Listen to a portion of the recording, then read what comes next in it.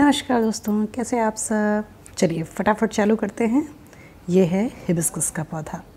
इसे हम गमले पे भी बना सकते हैं और ज़मीन पे भी लगा सकते हैं। गमले पे अगर लगाना है तो इसकी मिट्टी में हर चीज़ एक चौथाई मात्रा में होनी चाहिए। कॉम्पोस्ट, कोकोपेट और आपकी मिट्टी और रेत। और दूसरी चीज़, पानी की। इसमें पानी वेल ड्रेन चाहिए।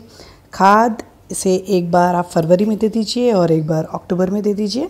ये गर्मियों का पौधा है, गर्मियों में फूल देता है, इसलिए गर्मियों में इसे लिक्विड खाद देना पड़ेगा। पानी इसे रोज़ चाहिए, थोड़ा मॉइस्चर लविंग होता है। इस पर कीड़ों का अटैक बहुत जल्दी होता है, इसलिए नीम ऑयल का स्प्रे हर पंद्रह दिन में करना ही चाहिए। और प्रोपगेशन ये बहुत आसानी से कटिंग से लगाया जा सकता है। आप कटिंग को लीजिए, कुछ दिन पानी में या फिर कोकोपीट पे डाल दीजिए, अपने आप उसमें जड़ें निकल आएँगी। अब गमले पे और मिट्टी पे, क्योंकि ये दोनों पे बहुत अच्छा चलता है। हाँ और तीसरी चीज़ सनलाइट सनलाइट सनलाइट इसे ज़रूर चाहिए, क्योंकि अगर सनलाइट इसमें पौधे में अगर फूल आ रहे हैं, और फूल तो आप जानते हैं सनलाइट से ही होगा। सनलाइट नहीं होगी तो फूल नहीं आएँगे। और इसकी हाइट अगर हम ज़मीन पे लगा रहे हैं तो बहुत ऊँचा जाएगा, इसलिए प्रॉपर इसे ट्रिम करना बहुत ज़रूरी है। देखिए, मेरा ये ज़मीन पे लगा है, इसलिए मैं इसे प्रॉपर ट्रिम करती हूँ, इसलिए इतना छोटा है।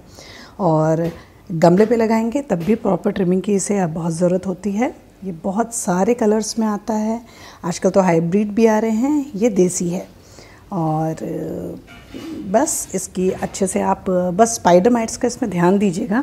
इस पर बहुत ज़्यादा अटैक होता है कीड़ों का और वो जो वाइट मिलीबग्स होते हैं, बहुत ज़्यादा। इसलिए इसमें कंटिन्यू आपको नीम ऑयल का स्प्रे देना ही देना है।